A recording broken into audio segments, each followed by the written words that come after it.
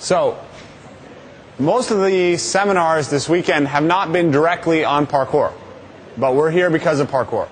And uh, part of that is because um, I feel like a lot of these things that we've been talking about, how to deal with injuries, how to develop mobility, how to strengthen, uh, do strength and conditioning, are, are really necessary parts of the parkour community.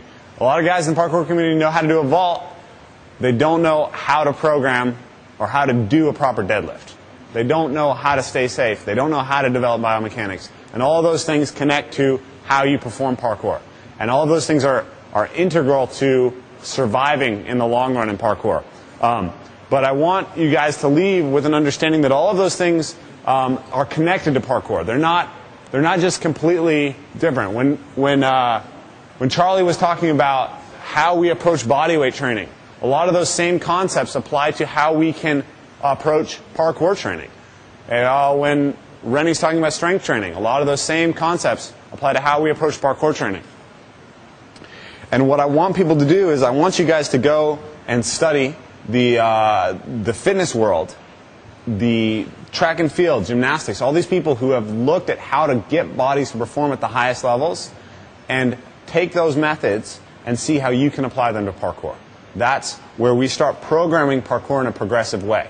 I believe that parkour has the capacity to be one of the most powerful tools for developing the human body. Um, because parkour reflects what our bodies are supposed to do. Um, I come from a, an evolutionary biology and anthropology background as a student, and it's something that I've always kind of kept up on. And one of the models that I like to think of is of play as the, the means by which animals develop the skills that help them survive in their evolved niche, right? So if you watch a puppy play, a puppy is going to chase things, it's going to grab onto things and pull them with its teeth. It wants to play tug of war, it wants to wrestle, right? What is it that wolves, which are the ancestors of dogs, how do they make their living in the world? They chase animals down, they grab them with their teeth, they pull them to the ground, they hold them there, and they eat them. right?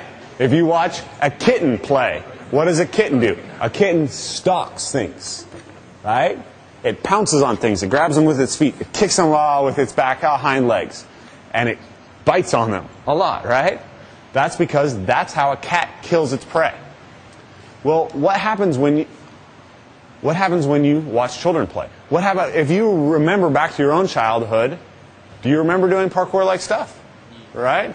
How many of you have thought to yourself, "I wish I had never stopped doing parkour when I was a kid"? Raise your hand. Okay. Frosty's like, I didn't ever stop. That's why he's so awesome, right? There we go. But, uh, but this is our evolved play behavior. It's not the only play behavior, right? Kids like to build forts and they like to they like to fight. They like to uh, do combat, and I think that's important too. But I think that this is a huge piece of it. Probably the biggest piece of it is learning to control your own body through space. That's what parkour is about. Um, so if we if we develop the science of that, if we really dedicatedly find out how we can expand the human ability to move through space, to move over obstacles, we're going to create athletes who will be amazing, right? And that's what I want to see. And I want people to take a serious approach, a methodical approach, but at the same time, don't forget to be playful. Does that make sense? Okay.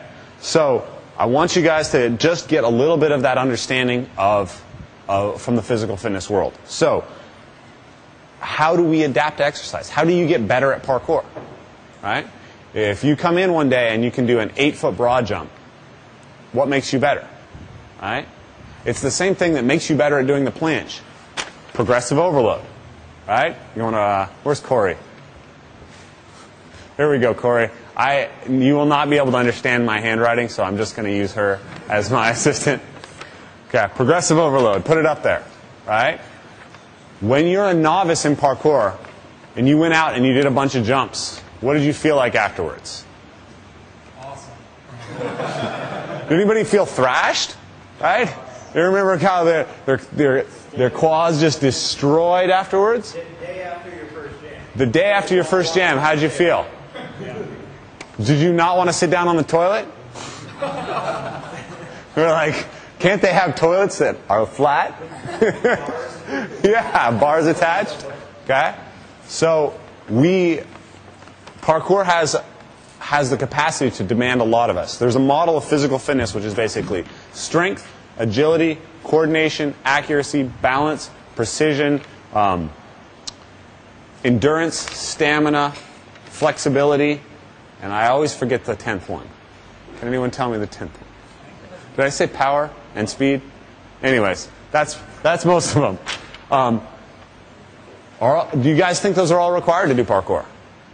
Right? So if we can, if we know that parkour demands those physical capacities, then we can find ways to progressively demand more of our body in those capacities through training parkour.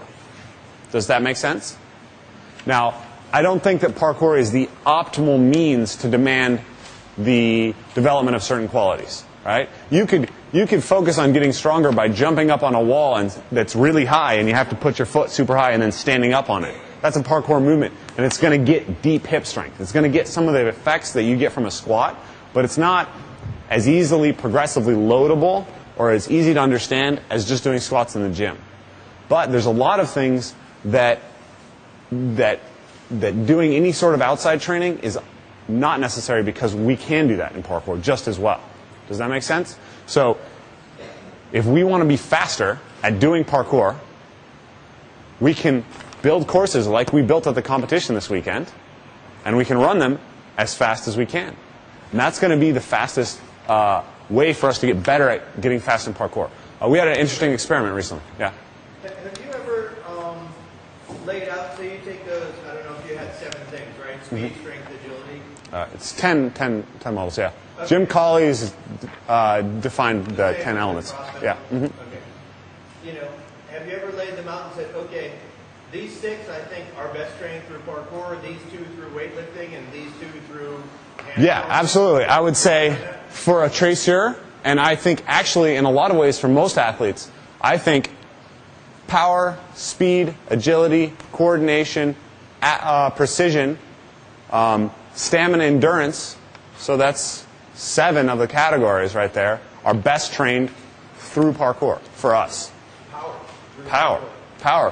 What power is rate of force development, right? Okay. Okay, what is the traditional means by which power is is generally trained in uh, in in the sports community, the fitness community? There's two primary methods. There's plyometrics and Olympic lifting, or or um, speed lifting, right? You can do jump squats. You can do you can do lifts that are loaded to a certain degree. Okay, so which one of those maps to parkour really easily? Plyometrics. Parkour can be seen as a plyometric method of developing physical capacity. We do a lot of jumps and landings, and it develops reactive strength. So we see a lot of tracers, guys who are naturally talented, have really high reactive ability, right? So they may not be that strong when we put them on a squat, but their ability to translate that squat into force in jumping is really tremendous. But what we want to do is we want to get them to go ahead and strength train, and then refine our understanding of what's already happening in parkour, right?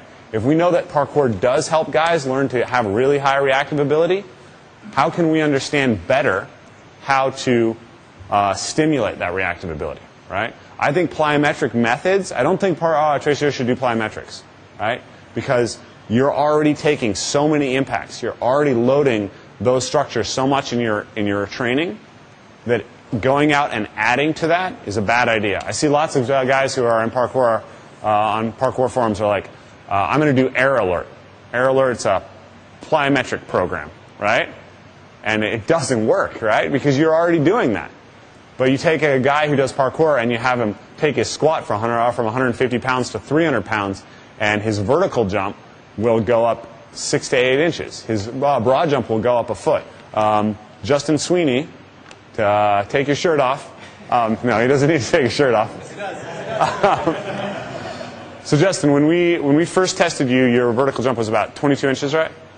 Yeah, so 22 inches. He was 130, 140 pounds, and he, uh, he could squat about 150 pounds. Um, after four months uh, or six months of weight training, uh, he had a 27 inch vertical leap with a, uh, at a body weight of 160 pounds. And uh, what was it, 275 you were squatting for reps at that point? Okay? His broad jump went from 8.2 to 9.5 or something like that. That's the type of thing that we can get by adding strength training to it. But we get a lot out of just parkour, right? We get, we can take a guy with no other training and get eight inches on his broad jump just from doing parkour. And we haven't refined that understanding very well. Does that make sense? When you think about, I'm going to go out and do a bunch of jumps today, do you think progressive overload of the functions that allow you to jump well? Who, who, who thinks about that when they pra- plan their parkour uh, stra- structures? Okay. So, in a room of a bunch of tracers, four of us raised our hand, and a few of uh, and a couple of you guys looked pretty half-hearted when you did so. Um, you, you, if you understand plyometric methods, if you understand shock training, if you understand all these things, you can attack parkour training more effectively. Does that make sense? You can get the benefits of parkour better if you understand how to do it. So, if you go out and you have a jump, and let's say you can do an eight foot precision, right? Um, what is a stimulus that achieves progressive overload, that doesn't overload the body, that you can then recover from and be more able to do it, right? If you go out and you say do the traditional parkour method, let's do a 100 eight foot jumps. Does that stimulus build power? Does that stimulus build speed strength, the characteristic that most defines effective capacity in parkour? No, it builds endurance. It builds stamina. You'll come back and oftentimes you'll actually regress if you try to do uh, training like that. If, if, your, if your goal is to get a bigger, stronger jump, right? And that shouldn't always be your goal, but it is a pro- uh, very big thing in parkour to understand. So, um, in, in plyometric training, they say for a given exercise, you usually want to do 15 to 20 reps. That's all, right? So if you want to go out and you want to attack um, power training for parkour, what you're looking at is going out and doing 15 to 20 reps. And that's, it can be less than that. It can be 10 reps too. The, the key thing that you should be looking for is diminishment in performance. Does that make sense? So if you go out and you, uh, you, you're going to do um, a wall run, right? And we're going to see how high you can get. It's easier if we don't have a wall run that um, we can just see just how high we can get, right? Tap your hand. You, what you'll find is usually you're, you're not going to be able to do that many before you start. You'll, uh, your first one will be, say, 11 feet. And then, you know, you go 11.2, you're warming up. 11.4, okay, cool, I'm, I'm still starting to feel pretty good. 11.6, 11.8, you've topped out.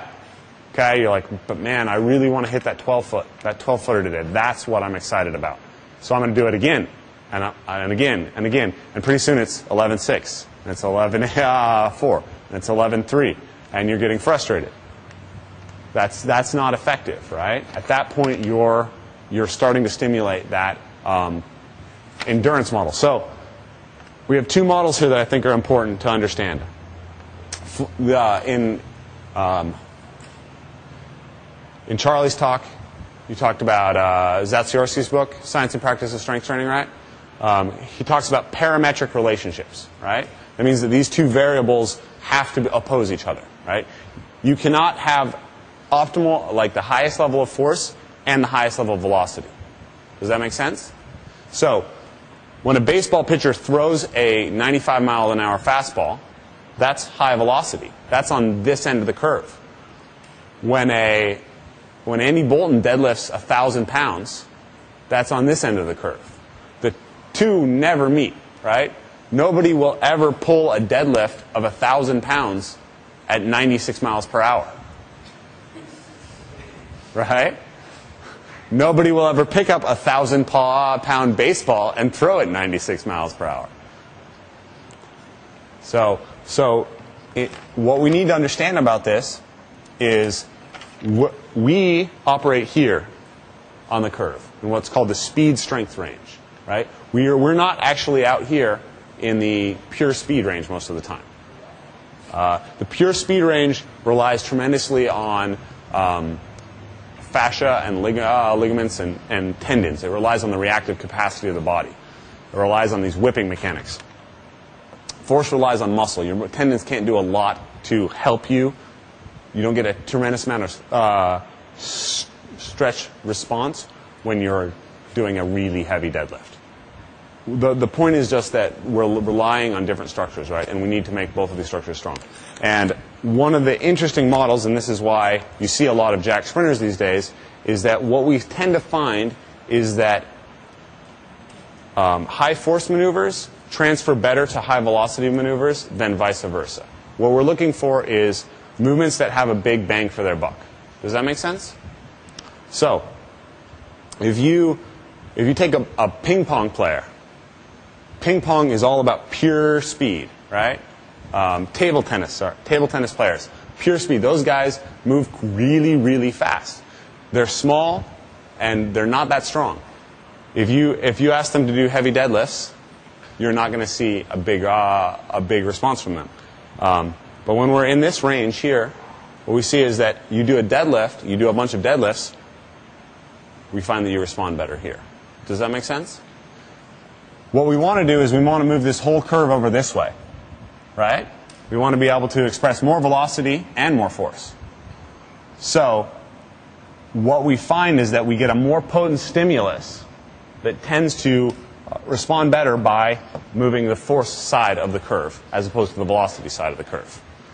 So, um, that's just an important thing to understand. The next thing we're going to talk about that I wanted to touch on this is intensity and duration. 10,000 pound deadlift, marathon. You can't lift a 1,000 pound deadlift a thousand times, right?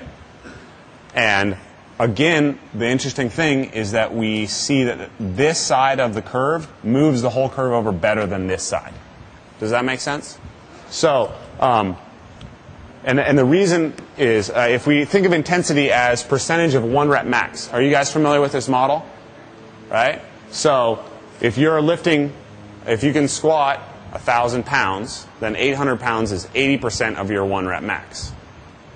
If you can squat, you know, 100 pounds, 80 pounds is uh, 80%. So when we change the percent of your one rep max that a given movement represents, we change uh, we change the relative effort for everything out on the curve there, right? So if we can lift, if we can move this up, and all of a sudden we can lift, uh, you know, if we went from 200 pounds to 300 pounds on our squat or 400 pounds on our squat, then when we try to lift, when we try to lift our own body, when we try to jump, we're lifting a lower load relative to our our maximum potential, and therefore it's less fatiguing. It's less fatiguing to lift 50% of your max than 80% of your max. Is that clear? Now, at a certain point, this the parametric relationship here becomes more of a problem. It becomes harder to affect this area of the curve with this area, or vice versa. And in fact, you start seeing the curve want to shift one way or the other. So, if you are an elite level marathon runner, you will have difficulty maintaining the strength end of your curve, the intensity end of your curve. If you are an elite level power lifter, you will have difficulty uh, maintaining endurance, right?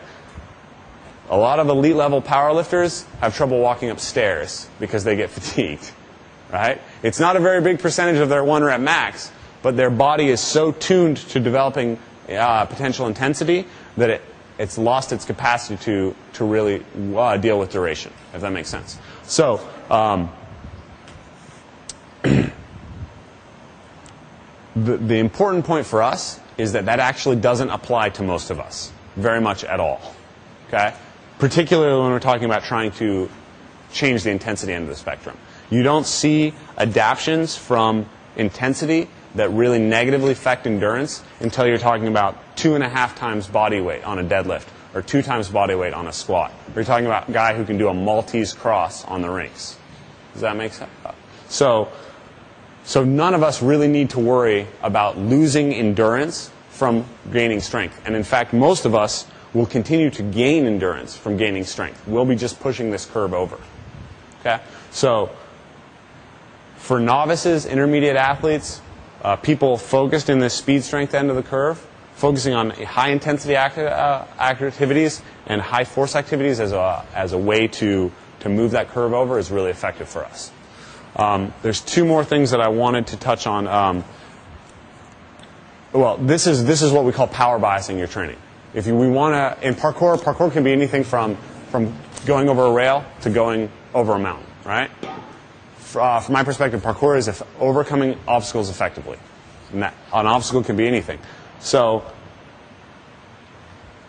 the, the duration of uh, Mount Everest is high, right? The relative intensity of a given movement going up Mount Everest is not nearly as high as running a 100 meter sprint or jumping over a high rail. So the question we are always having to ask is how do we best move the whole curve over because we could be anywhere in that curve. Does that make sense? I keep saying that. I'm going to try to try to use a different phrase here. Um, power bias your training. The second model that I want you guys to think about in approaching parkour training is skill bias. So we talked about this earlier. If you take a elite level gymnast and you take him into a and you ask him to power lift, he's going to perform much closer to the standard of a power lifter than the power lifter is going to perform to the standard of the gymnast. Okay? A being able to do a planche means that you have sufficient strength in your shoulders to express a high level of force pushing a bench, pushing a simple object away from you.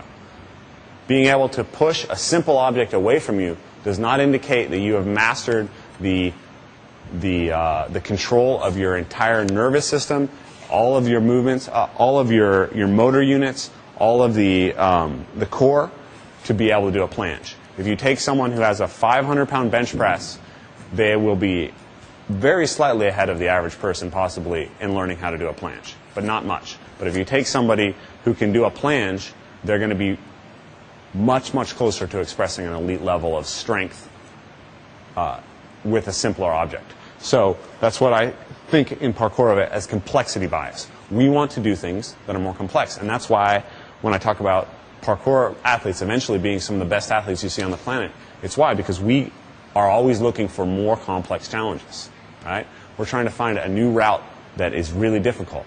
And it's teaching our nervous system to deal with problems. It's teaching us to coordinate ourselves in a broad variety of ways that's going to allow us to uh, face simple challenges relatively easier. We had a really interesting uh, demonstration of, this uh, recently. One of our students uh, was a college sprinter.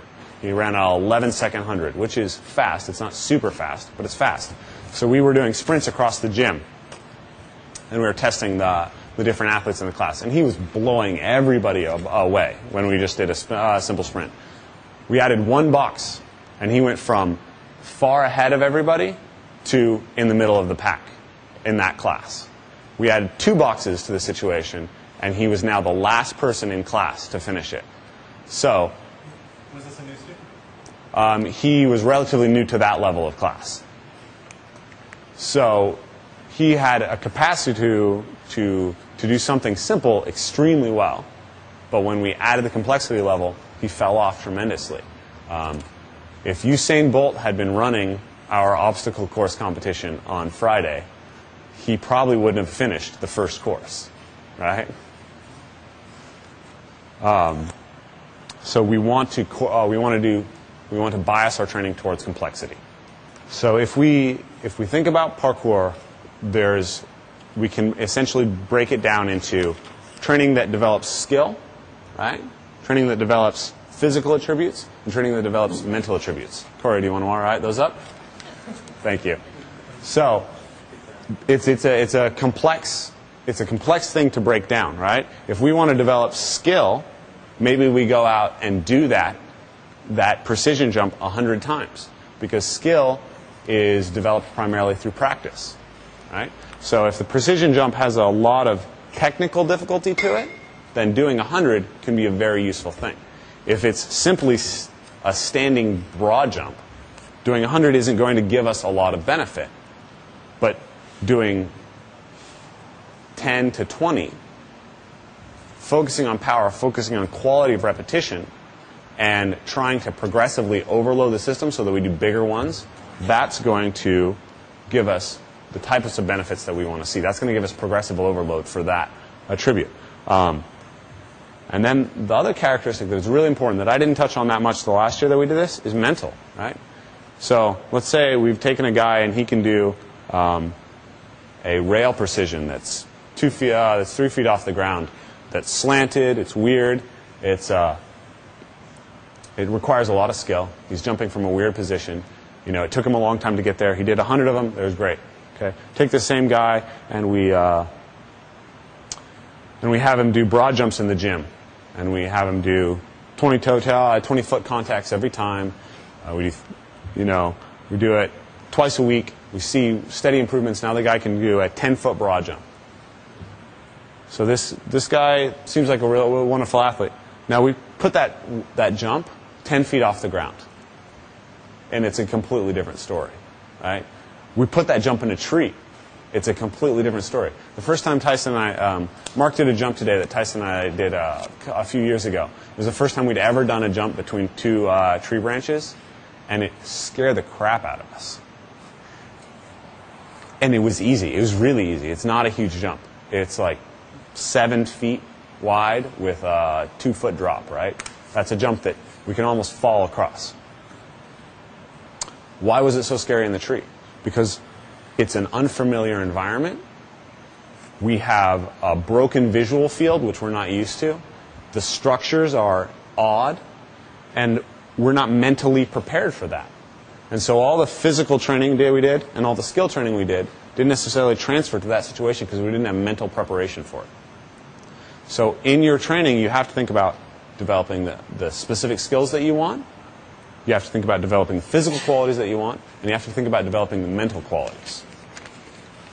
Um,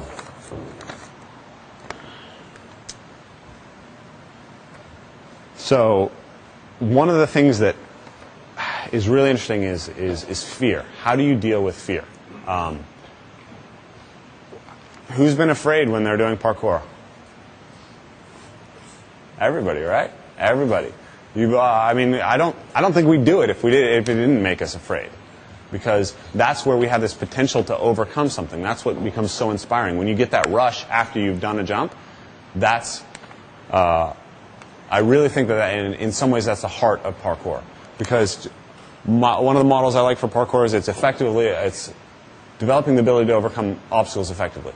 But I think the inverse is equally true.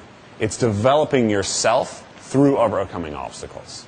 And we feel a tremendous amount of development of self through overcoming an obstacle. In mountaineering, they say it's not what the man does to the mountain, it's what the mountain does to the man. And that's what we're trying to get out of parkour, too. So the mental side is, is one that I think is harder to translate and it's a lot harder to teach. Right? We do a class in our uh, program called, it's the fear class, right? We try to make you guys, we try to find something that is fearful for the students and help them overcome it. And that is much more difficult than teaching them how to do a Kong. Right? If I teach them how to do a Kong, I say, you're going to do this drill, you're going to do this drill. When your body is in this position, I know that you have the physical uh, ability to move on to the next level. When we look at a jump, I can tell to some degree based on their posture if that person's afraid or if that person is moving through the fear to the point that they can make the jump and I can cue them, but I never know 100% what's in their head. And I don't know necessarily how they deal with fear in such a way as to overcome it. My own process of dealing with fear isn't necessarily verbal.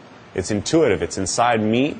And so trying to externalize it and give it to somebody else is a real problem. And and what's scary is dangerous. We get hurt a lot of the time because we're afraid. Right? How many times have you looked at a jump, gone for it, and hesitated after you took off and found yourself halfway there? Uh, flips are a great one. You know, you go up to do a back tuck and you decide halfway up that you weren't really going to do a back tuck, but it's a little too late and you come down on your head. Okay. Um,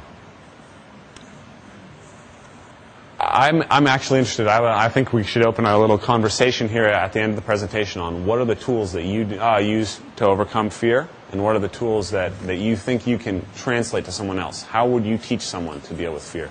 Um, one of the things that, uh, that I know that the Yamakasi did was that they, they would climb on something high and they would just hang out there, right? They would play guitar, they would eat sandwiches, they'd chill because it take, took the mind time to adapt to being in that circumstance of being at height.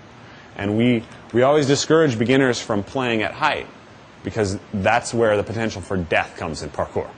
Parkour is really quite safe outside of dealing with heights. Um, but there's also now that potential for growth. If parkour is about overcoming fear, there's a potential for growth in the situations that are most fear inducing, which are potentially dangerous, right? You, at some point in your training, I think you have to step up and you have to, um, to put yourself in the situation of overcoming those fears, of dealing with the jumps that are really scary, that really have consequences. Um, there's a couple other things that I think are really important mentally in parkour, aside from dealing with fear. Um, we have to be creative, right? Uh, how many times have you heard someone say, "Oh, I'd love, man, I wish I had an area like this. There's nowhere to train where I live." Right? There's nowhere to train where I live. Um, there's somewhere to train everywhere, right? Uh, if you, I, uh, we heard someone mention Ido Portal earlier today. I, I, suggest you guys all go check out an Ido Portal video on YouTube because he's a guy who basically does stuff that's very similar to what we do. It's about exploring the human capacity to move. That's what he'll tell you it is, and he does it mostly on the ground. He does it on flat ground. So he does tons of variations of quadrupedal movement and spinning around on his hands and hand balancing, and all of it to me looks very transferable to parkour. I think that guy, if he came in here into the gym, he'd be able to keep up with us in a lot of ways. He'd, he'd, he'd demonstrate a beautiful skill. yeah, he's super dope. Um, because he's creating complexity. We talked about that model. If you have complex skills, they transfer well. He's creating an immense amounts of complexity in his training on, the, on flat ground. Flat ground is the first obstacle that we have to overcome. We, can, we, uh, we like to play with what we call low line training here. So we find an area that, that doesn't have a lot of big jumps, doesn't have a lot of potential stuff, and we find a million different ways to move through the space. Um, and it's not efficient. It's not the most effective way to overcome any of those obstacles but it's developing the qualities that allow us to overcome obstacles effectively. And that's the important part about it to me. And if you can go and you can look at any environment and find a way to do that and find all of the potential challenges in it, you're going to be way ahead when it comes to skill stuff. You're going to be way ahead when it comes to mental stuff. You're going to be way ahead when it comes to physical stuff, right? So developing that type of uh, creativity is huge. Um, that's why we had Jeremy do the, uh, the vision uh, clinic today. So I hopefully Frosty will come back and do a uh, creativity clinic next year, right? Um, and and the, the final thing that I want to throw at you guys as a mental challenge is the balance between being playful and methodical, right? Do you do parkour because it's fun? Uh, yeah, right? So if I come at you and I say, okay, well, I'm going to make you the best parkour athlete on the planet, and it's going to be like this. You're going to do 20, 20 foot context of wall passes, you know, three days a week. You're going to do 20 tic tacs three days a week. You're going to do this type of, uh, you're going to do kongs like this. You're going to do this, this, this, this. And it's going to be strict and uh, structured all the time. Do you think that'd be fun? No, it's not. I've, I've done that to myself to a degree. I like methodical things. I like studying fitness and trying to find a way to challenge myself. And so I've written myself really complex and intricate directed ways of training. And I burn out on it. It's boring. Um, so we have to be playful because that's the heart of it. We just we talked about it in the beginning. Parkour is expression of human evolved play capacity. Um, so if you're not playing, then you're missing the point. But we, it, for me, progression is fun. Getting better is fun. That's why I do squats. That's why I do deadlifts because, man, when I can do a bigger jump, that's exciting for me. So there is this element of being able to take a methodical approach to parkour that um, that can really help you. That can help you do mo- more fun things in the future. And I think that my balance isn't necessarily Levi's balance or Frosty's balance um, or anybody else's balance. But I want to challenge you guys to just think about how you can balance those two elements in your training. How you can bring a playful element to it while maintaining some element of method, of trying to understand what you're trying to achieve and not focusing so much on, on what you're trying to achieve that you lose sight of the fact that you're doing it for fun in the first place. What I want to touch base on is um, incremental progression. I want to talk to you about that. One of the things that we, I think, do very particularly well here, um, and that we focused on, is the idea that you can build drills that take things apart and let you build it progressively. So when you started, how many of you guys started to learn a Kong by trying it? How many of you guys bailed? Your feet within the first three tries. How many of you guys continued to clip your knees for like months after you initially learned to Kong? Okay. Some of you guys are not as klutzy as I am. Um, but a few of you are, so thank God for you. Um, we, that, that, that's not the best way to do it, right? We can teach people how to do a vault on the ground and build up. We can teach people pieces of the mechanics and build up. So, um, uh, is there anyone here who, who has difficulty with Kongs who hasn't or can't do them? No, we're all we're all advanced at this point. That's that's what I figured. um, so we'll go ahead and just demonstrate that. Tyson, will you jump up and demonstrate for me? So Ty, uh, Tyson's just going to take you really quickly through our Kong progression.